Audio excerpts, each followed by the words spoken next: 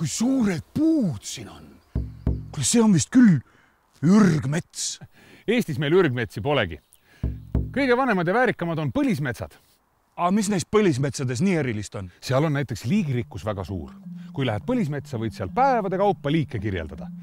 kõigepealt pead muidugi mõned liigid endale selgeks tegema. no, no, no, no, no mõnda taime ma ikka tunnen ka või lille näiteks. tore. tule, ma näitan sulle hakatuseks ühe huvitava sambliku liigi. Sulgjas õhik. sulgedega võhik. nojah, iga algus on raske.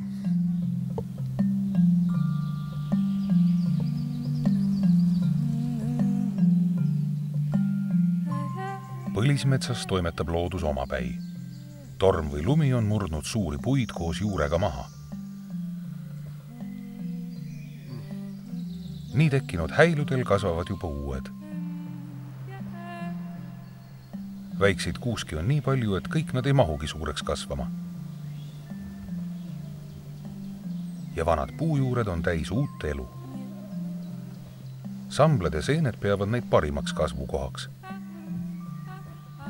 põlismetsa on Eestis viissada hektarit.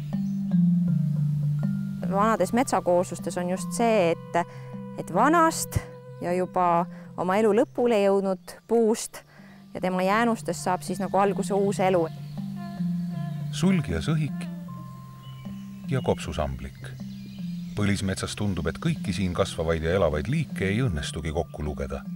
Järvselja metsa on kaitstud juba tuhande üheksasaja kahekümne neljandast aastast.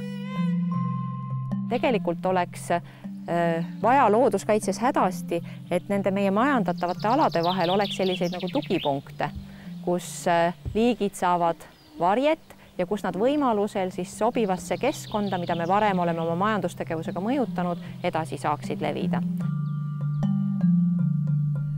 Eesti eesmärk on jätta vähemalt kümnendik metsast majandustegevusest puutumata. Need alad peaks hõlmama kõiki metsatüüpe